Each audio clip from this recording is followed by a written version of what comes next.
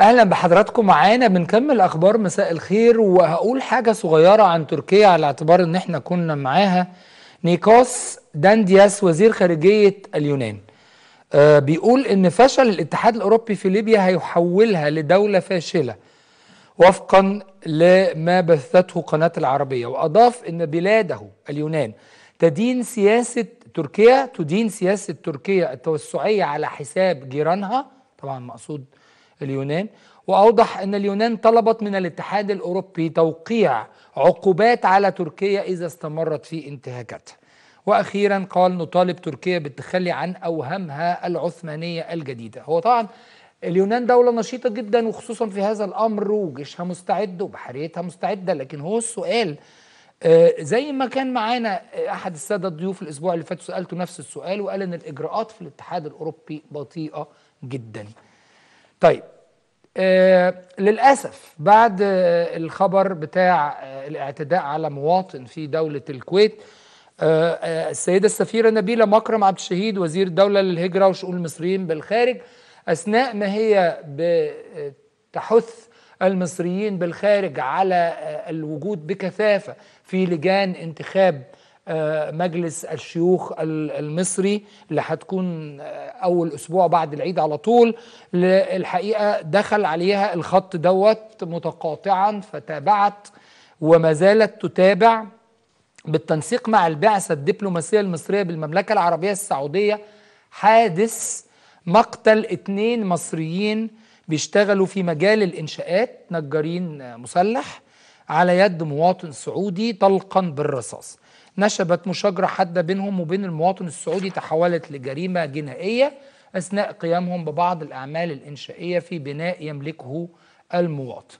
السفيرة نبيلة مكرم بتقول إن الجاني اعترف بارتكاب الجريمة وقام بتسليم نفسه للسلطات السعودية وأشارت إلى أنه تم التحفظ على الجثتين بسبب استمرار التحقيقات وتبين أن المواطنين المصريين من مدينة نجع حمادي بمحافظة إنا عادل عبد الإمام حسين مواليد 83 وعز الدين محمد عبد الشافي مواليد 67 هابت وزيرة الهجرة بالمواطنين عدم الانسياق وراء أي أخبار غير مدققة على مواقع التواصل وشددت على المتابعة الفورية لأي حادث يتعرض له المواطنين بالخارج من قبل كافة أجهزة الدولة المعنية. الحقيقة إحنا يعني النهاردة وإمبارح كنا بنحاول نتواصل مع سيادة الوزيرة والتواصل كان كويس بس يعني دلوقتي في مشكلة يبدو إن هي يعني طلبت في أمر هام. الحقيقة بس اللي أنا عايز أقوله ال ال ال السعودية كدولة الكويت كدولة كل الاحترام وكل التعاون ال الوثيق في الملفات وخصوصا وجهة نظرنا كمان تجاه قطر والرباعي العربي و و لكن الحقيقة إنه الحادثة بتاعت السعودية دي بالذات دي حادثة لو صحت التفاصيل اللي مكتوبة في الأخبار فهي حادثة بتدل على إنه الشخص ما كانش في حالة طبيعية. إن هو يقول لهم عايزين نغطي الماسورة ديت فيقولوا له ديت محتاجة إحنا نجارين دي محتاجة حد بتاع سباكة. فيسيبهم يكملوا شغلهم ويرجع ببندقية آلية يمطرهما بالرصاص. أنا بقول ده كعلامة استفهام مش بقوله كتأكيد. لو كانت هي دي التفاصيل لا في خطورة طبعا على على الناس والحكاية مش طبيعية.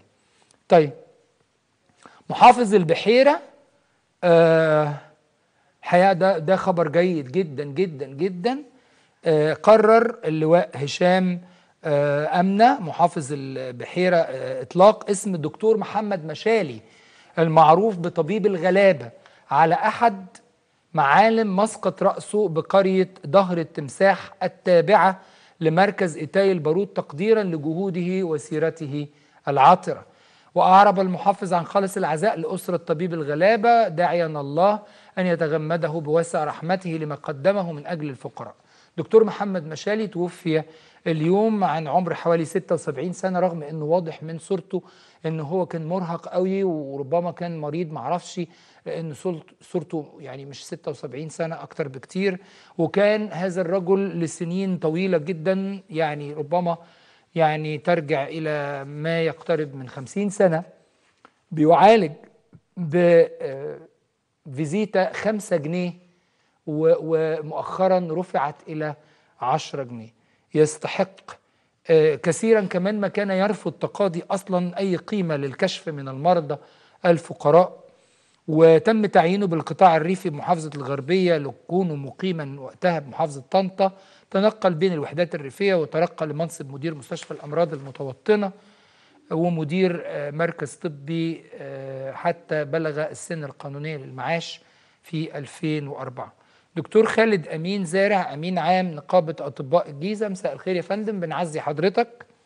مساء الخير يا فندم وربنا يعزي قلوبكم جميعا وأنا طبعا بنقل تعازيكم وبشدد عليها لأسرة الفقيد دكتور محمد مشاري ولكل أطباء مصر خالص الأعزاء في وفاه دكتور محمد مشاري وفي وفاه 153 طبيب في شهور برضه في الفترة اللي فاتت. والحقيقة قبل ما- هو دكتور مشالي توفي بكورونا؟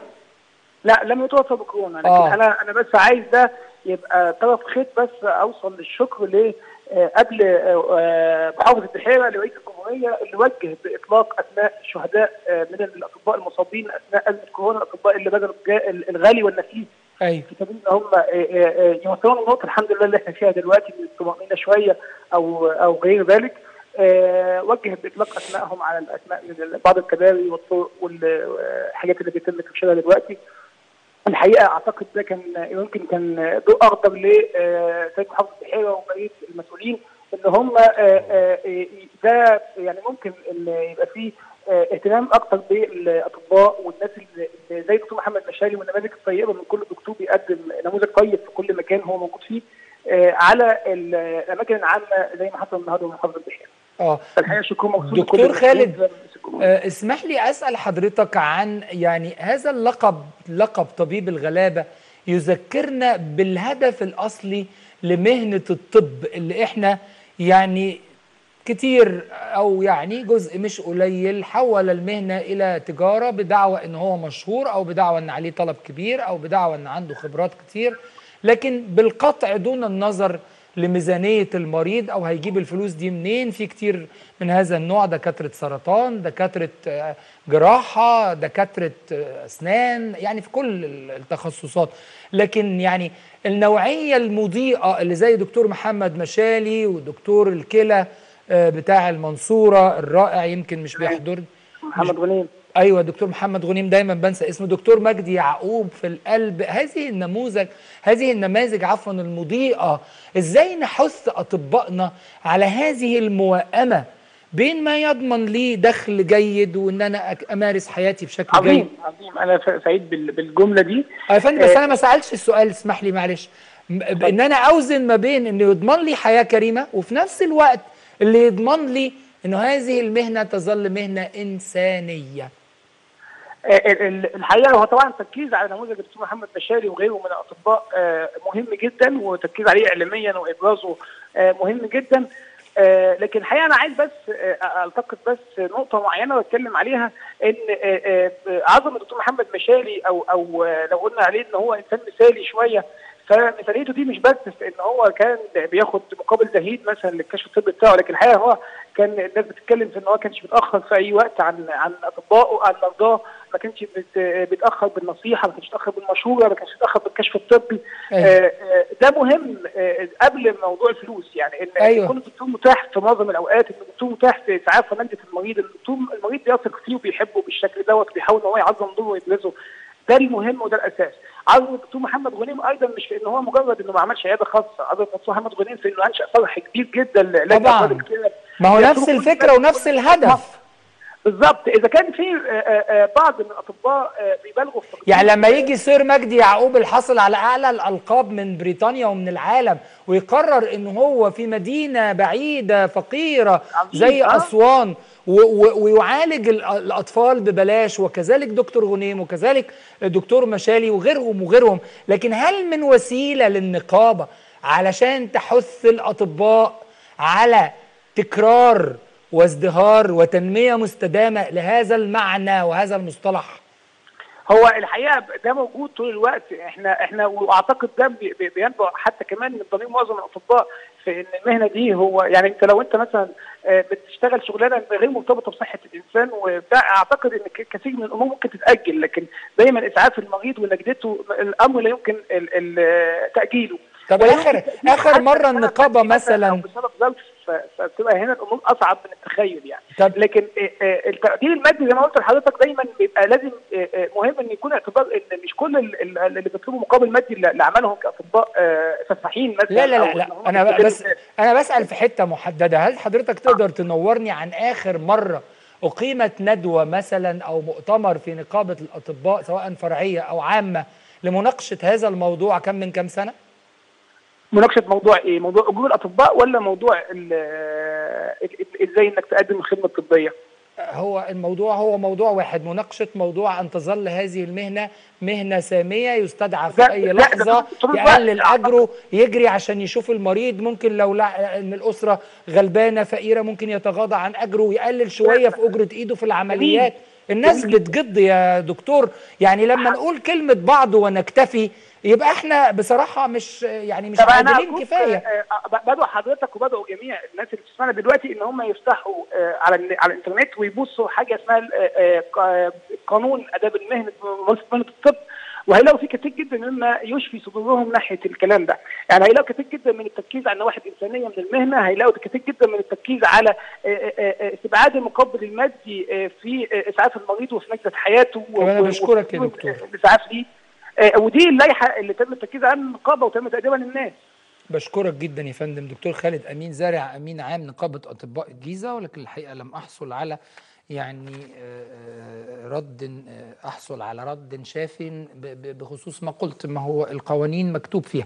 الحقيقة من الحاجات اللطيفة إنه روزي دياز المتحدث الإقليمي باسم الحكومة البريطانية في الشرق الأوسط وشمال إفريقيا نعت طبيب الغلابة دكتور محمد مشالي آه، والذي أفنى عمره في خدمة أهالي منطقته في كل المراحل عمره اللي كان بيتحرك فيها من منطقة لأخرى ونشرت عبر حسابها بموقع تويتر صورة لدكتور مشالي علقت عليها قائلة فقد العالم اليوم إنسانا عظيما كرس حياته لمساعدة الفقراء وعلاجهم بمقابل رمزي أو بدون مقابل.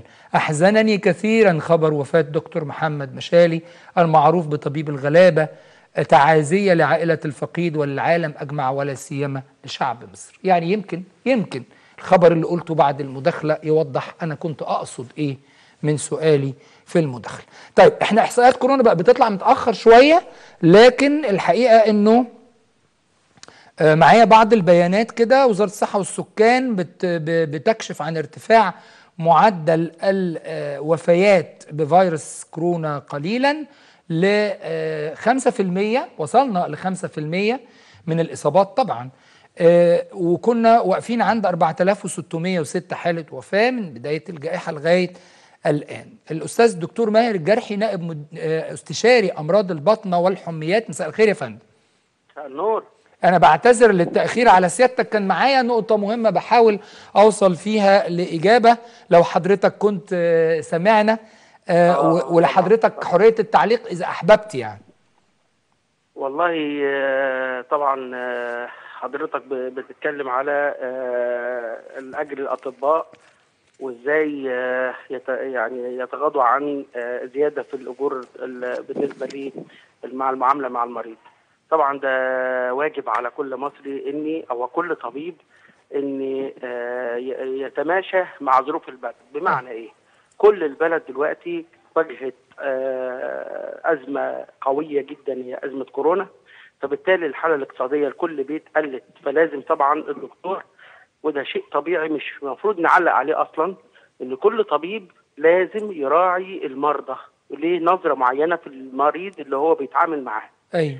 سواء كان آه، حالة جراحية أو حالة بطنة أو أي تخصص من التخصصات الأخرى يعني مم. فده حضرتك طبعا مع سعادتك حق ولازم آه، ده يبقى من غير ما ننوه عليه لازم يكون كل طبيب يخلي باله من البوينت أو النقطة دي لأن هي نقطة مهمة جدا جدا جدا لازم نخليها في بالنا إن مراعاة بعضنا لأن إحنا كلنا في دايرة واحدة صحيح. والحالة الاقتصادية طبعا المفروض مع كل أسرة حصل فيها آه، يعني نوع من ال من ال نقص في الدخل ال- ال- الأسري فبالتالي لازم الطبيب آه، يخلي باله من النقطة دي ويتعامل مع المريض برفقه يعني عارف كمان يا دكتور. أنا قصدت كمان القضية مش بس قضية فلوس أنا بحب جدا أشوف الأطباء اللي بيعطوا مثلا يوم في الأسبوع من أجل مؤسسة خدمية بيشترك في عيادة معمولة في جامع بيشترك في عيادة معمولة في كنيسة بيشترك في آه، المستشفى الحكومي بإخلاص ويدي وقت علشان بدل ما يبقى سبعة أيام خاص يبقى ست أيام. دلوقتي تكلفة المستشفيات غالية جدا أجرة إيد الدكتور غالية جدا ال- التحاليل والاشعاعات غالية جدا. الناس برضو يعني ظروفها مش بس كورونا بس الظروف صعبة يعني. طيب ما علينا. آه، بالنسبة للأرقام إحنا نشكر الله يعني وهي بعون الله يعني بت بت بتقل والكيرف بيقل. لكن آه، ال- الرقم بتاع الوفيات بعد ما بدأ ينزل ووصلنا يعني امبارح كان في حاجة و40 حالة والإصابات 400 وشوية. بعد ما كنا على أبواب 1700 حالة في اليوم و100 حالة وفاة. لكن الرقم التراكمي وصل ل 5% وده رقم مش قليل. خلى مصر آه، يعني من الدول اللي مش ورا قوي في الإحصائية دي على مستوى العالم. حب أعرف رأي حضرتك. بص حضرتك إحنا قلنا كذا مرة في بداية الجائحة يا جماعة خلي بالكم من group معين أو مجموعة معينة من المرضى. آه. ال- ال- ال- ال group المعين أو المجموعة المعينة من المرضى اللي هم بي اللي هم غالبا بيبقى كبار في السن. أيوه. عندك من عند 50 أو 55 سنة لحد 85 سنة أو 75 سنة ده أنا بعتبره high risk آه دكتور، يعني طب- آه يعني في في خطورة عالية عليه. بالظبط كده. فطبعا إحنا قلنا كذا مرة الشباب ما تخافش عليه. لأن الشباب ممكن ياخدوا الكورونا خالص ويبقى carrier يعني حامل وما للفيروس بيحسش ولا- بيه وما بيحسش بحاجة. صحيح. بس ده الخطر. وقلنا كذا مرة هو ده الخطر. اللي هو بينقل المرضى لجده ووالده ووالدته. فبالتالي بنقول إن أنا هعتبر نفسي عندي كورونا لو بقى عندي واحد كبير في السن. مم. بمعنى إيه؟ لو أنا عندي جد أو جدة أو أب أو أم لازم أخلي بالي من اتخاذ الإجراءات الاحترازية في منتهى الدقة. أيوه. ليه؟ لاني هعتبر نفسي عندي كورونا وأنا مش باين عليا. وليه؟ عشان ما لو أنا حتى عندي ومش باين عليا ما ما اعملش نقل. عدوى للناس الكبار في السن اللي هم مش هيستحملوا أيوه. آه ال- ال- الفيروس نفسه ومضاعفاته. طب أنا عايز أقول لحضرتك حاجة. أيوه. لو حضرتك عملت survey يعني دراسة للناس اللي هي آه توفت يعني رحمهم الله آه. هتلاقي إن كل الناس دي غالبا زي ما أنا قلت عندهم risk factor اللي هم الناس كبار في السن ده رقم واحد. آه. رقم اثنين الناس اللي عندها ضغط عالي. آه الأمراض المزمنة بقى. الناس الأمراض المزمنة الناس اللي بتاخد علاج oncology الناس اللي عندها روماتويد الناس اللي عندها آه سكر عادي أمراض الكلى يا فندم وال... والقلب مش بتعتبر برضو من الأمراض المزمنة ممكن برضو تضعف المناعة؟ بالظبط كده. بس إحنا بنعتبر أول حاجة دلوقتي الضغط تاني مم. حاجة السكر. أيوه وأمراض القلب وأمراض الكلى طبعا من ضمن الأمراض اللي هي هاي ريسك اللي هي بيبقى فيها آه طبعا خطورة على حياة آه، المريض نفسه. طب دكتور ماهر المستشفيات الحميات معروف إن هي بتبقى من أكثر المستشفيات اللي حصل عليها تكدس وأولى المستشفيات اللي عالجت آه، كورونا. يا ترى الأوضاع دلوقتي إيه؟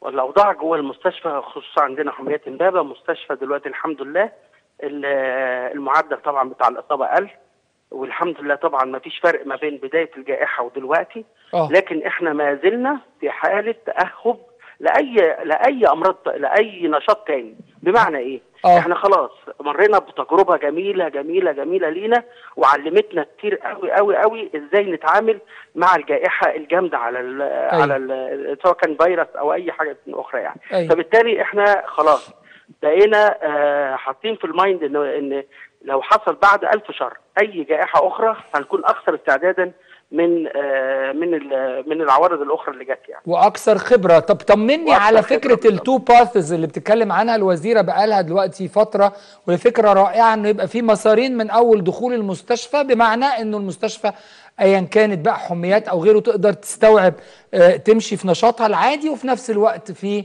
مسار الكورونا. هي طبعا آه، المجهود آه، مش عايزين نتكلم عليه عشان ما يقولش ده social media أو المجهود اللي اتعمل بجد أكبر من قدراتنا كلها مجهود رهيب رهيب صحيح. رهيب من سيادة الوزيرة صحيح. مش عايزين نتكلم نقول آه، شكر لا هي مش مش موضوع شكر هو موضوع إن كل واحد حط قدام عينه الشعب المصري صحيح. الشعب المصري إزاي نقدر ننقذه من جائحة كانت هتبقى كارثة على الشعب المصري لكن صحيح. الحمد لله نشكر ربنا بالمقارنة مع الدول الأوروبية أيوة. بالمقارنة مع أي دولة تانية عندها أمريكا يا فندم. أمريكا اللي النهارده اسمعني لو سمحت. 67 ألف في 24 ساعة وكانوا وصلوا ل 70 ألف حضرتك مش عايز أقول الحمد لله مع ال مع ال مع ال مع العدد اللي كان موجود وال- والجائحة الجامدة إحنا نجحنا بنسبة 100% الحمد لله بدون بدون يعني مبالغة ولا بدون كلام يعني مش مدروس. لا حضرتك نجحنا فندم. بنسبة 100% بشكر سيادتك جدا أستاذ دكتور ماهر الجرحي نائب عفوا استشاري أمراض البطنة والحميات. بشكرك يا فندم على وجود سيادتك معانا عبر الهاتف. الحقيقة دكتور خالد أمين زارع أسعدنا أيضا بخبر آه، آه، آه، توجيه السيد الرئيس بإطلاق أسماء ال 183 153 شهيد من أطبائنا في مصر ب على أماكن في مساقط رأسهم سواء كانت مدارس شوارع مكتبات يعني الحقيقة دي حاجة آه، رائعة جدا وتشعر الإنسان بالفخر إن هو بيعمل في الجيش الأبيض أو في هذا الحقل بالتحديد. آه، نيفين القباج بتقول إنه مبادرة دكان الفرحة دي بداية سعيدة للفتيات الأولى بالرعاية وهتوزع النهارده 50 جهاز في كل جهاز جهاز يعني جهاز العروسة مش جهاز يعني جهاز واحد يعني. آه، آه، الجهاز فيه سبع أجهزة إلكترونية وكهربائية آه، وشيكات وأدوات شخصية للبنات من دور الرعاية. يعني البنت اللي بتتخرج من دار رعاية أيتام وبتتجوز المبادرة دي بتساعدها جدا في إنها بتجهزها. وفي 150 جهاز هيتم توزيعهم بعد عيد الأضحى للفتيات الأولى بالرعاية في مناطق وقرى مصر الأكثر احتياجا بالتعاون مع صندوق آه، تحيا مصر وأعربت نيفين القباج وزير التضامن الاجتماعي آه، عن فخرها بالتواجد بالتواجد مع الفتيات في بيتهم وزارة التضامن وقالت إن هي الوزارة دي هي البيت الكبير والزيارة دي مش هتكون الأخيرة وإن هذا العمل هو للتنمية وفتح بيوت جديدة وجعل المواطنات صالحات ومنتجات ومثمرات. وقالت كمان إحساسي النهاردة إحساس أم بتجوز بناتها مش بس وزيرة للتضامن الاجتماعي. الأستاذ محمد مختار المتحدث باسم صندوق تحيا مصر. مساء الخير يا فندم مساء الخير يا فندم يعني ربنا يكون في عونكم يعني امبارح الرئيس يقول لكم حطوا 100 مليون في صندوق آه، عطاء. والنهارده الجهاز ومبادرات كثيرة تشاركون آه، بصندوق تحيا مصر من خلالها وربنا يقويكم على ترشيد توجيه هذه ال- الأموال يعني الحقيقة ان إن ده الدور المنوط بصندوق تحيا مصر آه، منذ بداية فكرة سيادة الرئيس بتأسيس الصندوق. أيوه فندم. علشان دايما نكون كلنا في ظهر بلدنا ممثلين في صندوق تحيا مصر. صندوق تحيا مصر ده بيعتبر البيت الكبير اللي بيجتمع فيه كل المصريين بمشاركتهم سواء المادية أو المعنوية. أيوه. علشان نقدر كلنا نقف جنب بعض ونتكافل في أوقات كتير بيكون محتاجين إن إحنا نقف جنب بعض سواء الأسر الأولى بالرعاية أو الفتيات اليتيمات أو ذوي الاحتياجات الخاصة أيوه. أو أي مريض بيعاني من أي مرض محتاج في وقت من الأوقات حتى اللي يطبطب عليه إحنا صندوق تحيا مصر بنهتم بالجانب المعنوي قبل الجانب المادي. النهارده إحنا كنا عاملين احتفالية بنشارك إخواتنا 50 آه، فتاة من الفتيات آه، اللي موجودين في دور الرعايه التابعه لوزاره التضامن الاجتماعي. أيوه ومسميين المبادرة بتاعتنا دكان الفرحة علشان إحنا حريصين جدا إن دايما الدكان يكون عمران بكل ما هو يسعد المصريين سواء من الملابس الجديدة إحنا وفرنا ربع مليون قطعة ملابس جديدة سواء لدور الأيتام أو جمعيات رعاية يعني الدكان ده مقصود. بيه؟ الدكان ده اللي هو صندوق تحيا مصر يعني. دكان الفرحة هو اسم أيوة. الخاصة بصندوق تحيا مصر أيوة. إحنا أطلقناها في إبريل 2019 أيوه فندم بهدف إن إحنا نوفر الملابس الجديدة كل لكل الطلاب اللي ليهم دراسات حالة في أيوه. الجامعات الحكومية. أيوه فندم بعد كده جه التفكير في تجهيز الفتيات من خلال التبرعات العينية اللي موجودة في الصندوق من خلال الشركات اللي بيشاركوا في مبادرة دكان الفرحة أيوه حضرتك عارف إن تجهيز البنات بيبقى آه، يعني عبء كبير على عاتق. الاسر الاولى بالرعايه والحقيقة أنتوا أنتوا كده بتجهزوا البنات والولاد لأن هي لما جوزها. يلاقي إن أنتوا جبتوا لها كذا مش هيجيب تاني كمان إضافة لكلام حضرتك إحنا يمكن مشاركين في مبادرة سجون بلا غارمين أيوة. واحتكاكنا بهذه الظاهرة في معظم الأوقات بتكون ال- ال- المرأة مستدينة علشان تجهز بنتها أو أيوة. الأب استدان لتجهيز بنته. أيوه. من هنا إحنا بنحاول إن كل مبادراتنا تتكامل علشان نحقق الدور المنوط بينا في إن إحنا فعلا نكون سند وظهر لكل الفئات الأولى بالرعاية على مستوى طب بمناسبة سجون بلا غارمين أو غارمات يعني هل ما زال هناك أرقام كبيرة في السجون المصرية بسبب إن هم اضطروا يستدينوا عشان يجوزوا أولادهم أو علشان كانوا بيعملوا تجارة بسيطة وباظت بسبب الأحوال المعيشية أو أو. خلي بال حضرتك إحنا قطعنا شوط مهم جدا منذ بدايه ال- المبادرة إحنا يمكن خرج 6000 غارم وغارمه حتى. الآن ومش. إحنا الوحيدين اللي شغالين في المبادرة في كتير من المنظمات المجتمع المدني بتشتغل في المحافظات في أفراد في ال- السادة ضباط الشرطة كان ليهم مبادرة علشان إن هم يسددوا ديون الغارمين والغارمات هي الفكرة الأساسية إن في قضايا كتير ما زالت معلقة في آه، أمام النيابة أو أو في المحاكم. آه. حضرتك عارف إن إيصال الأمانة مش آه، ما بتنتهيش ال- المشكلة بتاعته آه. بالتوقيع بتاعه لأ. حضرتك بيبقى لسه بيبقى لا، في نيابة للمجتمع،. أيوة. طبعا طبعا طبعا. مم. عشان كده آه، يعني مبادره سياده الرئيس ما ما أغفلتش هذا الجزء وأمر بسداد ديون الغارمين والغارمات من صندوق تحيا مصر. وطبعا دلوقتي في اللجنة الوطنية اللي بتناقش هذه الظاهرة علشان إحنا محتاجين نحط حد ليها لأن آه، المبالغ اللي هت- اللي هتصرف لسداد الديون آه، أولى إن إحنا نصرفها لتمكين السيدات المعيلات أو رعاية الأسر الأولى بها. طيب أستاذ محمد خليني أقول لحضرتك حاجة يمكن تساعد في فكرة دكان الفرحة إنه أنا شخصيا اتربيت في الكنيسة على إنه مجموعات من الخدام في الكنيسة كان عندهم خدمة القرية دي من الأربعينات والخمسينات من القرن الماضي في الجيزة وخارج القاهرة و و و. فكرة تطوير العشوائيات فكرة عمل وحدات صحية فكرة تجهيز البنات مبادرات وجمعيات كتيرة جوه الكنيسة وجوه الجامع مفيش شك. الآن يعني أجسادنا بترتعش وإحنا بنشوف الدولة بتقول للمواطن بجد أنا بحبك وأنا بنتمي ليك. مش مجرد إن أنا بطالبك بقوانين ولو غلطت كذا وده حبس وده غرامة وده لا أصبحت في علاقة جديدة الحقيقة ما بين الدولة وما بين المواطن سواء بدعم العمالة غير المنتظمة سواء بالتأمين على حياتهم سواء بالتأمين على عمال الترحيل وعلى عمال البناء والشهادات اللي اتعملت في البنوك سواء بالمبادرات اللي حضرتك تحدثت عنها أو اللي ما اتكلمتش عنها. أنا بجد بشكركم جدا وخليكم متأكدين إن شعب مصر فرحان جدا بشغلكم وربنا راضي جدا على العمل اللي بتعملوه أشكرك جدا يا فندم وكل الشكر للمصريين اللي بيوثقوا في صندوق تحيا مصر الحقيقة. أشكرك أشكرك أستاذ محمد مختار المتحدث باسم صندوق تحيا مصر وأدعو المصريين مرة أخرى للتبرع بقدر ما يستطيعوا لهذا الصندوق لأنه بالفعل زي ما قال سيادة الرئيس في الأول خالص لو تفتكروا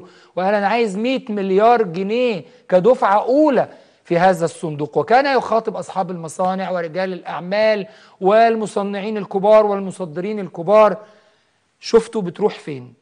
يعني برضو أرجع وأقول إنه ماشي الناس كانت معذورة وفي عندنا تراكم من عدم الثقة بين الحكومات والقيادات وبين المواطنين لكن أظن شفنا شفنا أعمال الدولة وهي أعمال خير الحقيقة وشفنا نقلة الحياة في العشوائيات اللي أصبحت أماكن رائعة. والنهاردة الرئيس قال جملة جميلة جدا. قال كان عندنا عدد من الافتتاحات المشابهة لافتتاح النهاردة ولكن أجلناها شوية لغاية لما نعدي الأزمة اللي إحنا فيها.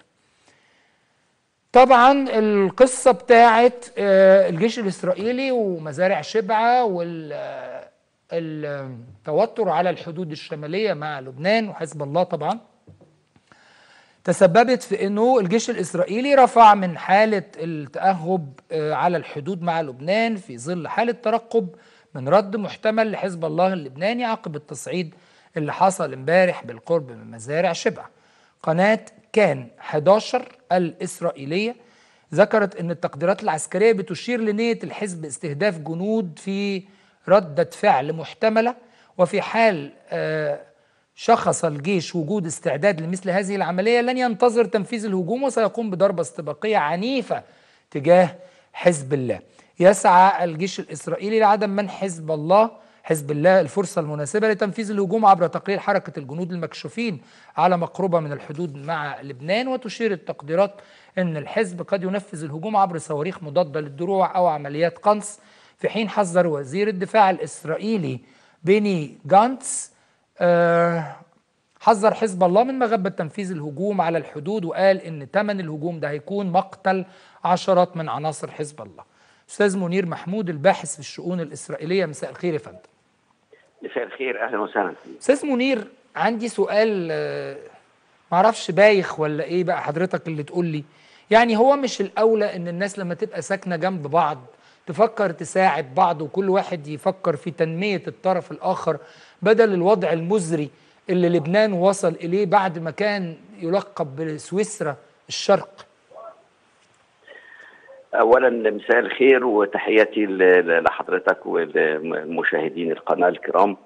آه، السؤال مش بايخ ولا حاجة يعني آه، في تحليل ما يدور على الحدود ما بين آه، سوريا ولبنان وإسرائيل على مدى سنوات طويلة منذ الاحتلال الإسرائيلي لهضبه الجولان والمزارع شبعه آه، أكثر من 40 عام. آه، إحنا بنتكلم النهارده في آه، آه، أسباب آه، هذا التوتر. أيوه. آه، وأسباب هذا التصعيد. أيوه. آه، هناك بعدان إذا سمحت لي في عجالة كده هو بعد يرتبط بالجانب الإسرائيلي. أيوه. لأن التحرش الإسرائيلي بسوريا ولبنان آه، آه، له أسباب تتعلق بالداخل الإسرائيلي. طبعا. وحسابات إسرائيل وأمريكا أكثر منها ردا على التهديدات لأمن إسرائيل من قبل حزب الله كما يروج الإعلام الصهيوني وإن كان هناك آه، آه، تحليلات ويعني اجتهادات بيطرحوها على الإعلام علنا أيوه. علشان يبقى في مصداقية لهذا الأمر. أيوه. اولا السبب الرئيسي هو لإلهاء وتهدئة الرأي العام الإسرائيلي لأن المتابع للشأن الإسرائيلي أو متابع لما يحدث في إسرائيل في الأسابيع الأخيرة هناك آه، ثورات آه، ومظاهرات أقصد بشكل كبير ومتصاعد. طبعا لم يحدث قبل ذلك في الفترة اللي فاتت دي كلها في تل أبيب لفشل نتنياهو اولا في الاقتصاد بشكل آه، آه، واضح جدا. لا وكمان اتهموه في, في بالفشل هو وحكومته في التعامل مع جائحة فيروس كورونا.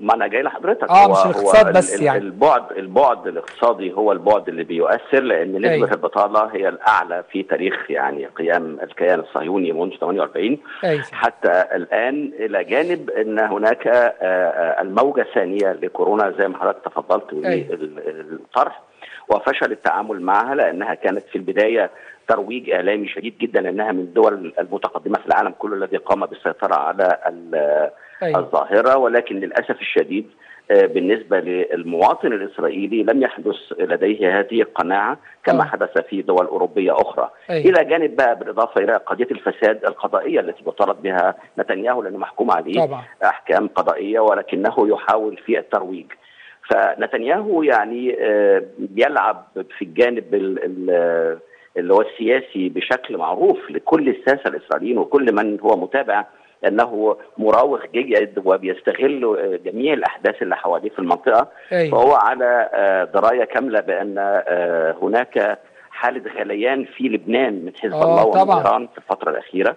هو على دراية بأن هناك حاله انهيار كامل امني ولا يوجد جيش نظامي في سوريا فهو يعربد في سوريا بشكل واضح آه، أيوه لسه ضارب في الجولان قريب صحيح. بشكل كبير. آه، آه، ده على المستوى الداخلي. هو يريد أن يعني يلهي الرأي العام الاسرائيلي وهو يلعب بهذه الورقه طوال الفترات ال- ال- ال- الأخيرة ولدرجة أن جميع الساسة الإسرائيليين يعرفون عشية كل انتخابات الكنيست.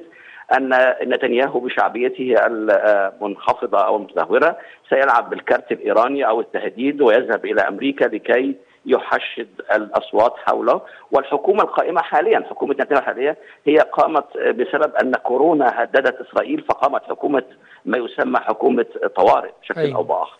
بشكرك البعد. الثاني في الجانب الإسرائيلي في عجاله هو إن إسرائيل بتخدم بهذه العربدة أهداف أمريكية واضحة فيما طبعاً. يتعلق بالصراع بين أمريكا وإيران خلف الكواليس أو بشكل معلن فالتحرش بلبنان والضرب في سوريا بينقص ويضرب في البنية الأساسية صحيح. العسكرية التي توصل الرسائل المباشرة إلى صحيح. ايران آه، آه، آه، لخدمة الأهداف الاستراتيجية على المستوى ال- آه، آه، الاستراتيجي القومي آه، الاستراتيجي الإقليمي اللي بتكون فيه إسرائيل بتلعب الدور الأكبر لصالح سواء دول أوروبية أو أمريكا بشكل أو بآخر. بشكرك جدا يا فندم. وإحنا عايزين بقى محور كبير كده مع سيادتك تنورنا لأنه إذا بحثنا عن المستفيد في قصة ليبيا وقصة آه، آه، سد النهضة وقصص كثيرة هيطلع المستفيد هو إسرائيل. بشكر جزيل الشكر الأستاذ منير محمود الباحث في الشؤون الإسرائيلية وبشكركم. وحالا هيكون معانا فقرة الحوار عن مبادرة العربيات اللي هيتعمل لها إحلال بمركبات جديدة. وهنشوف كده آه، إيه التفاصيل بتاعة الموضوع ده. خليكم معانا.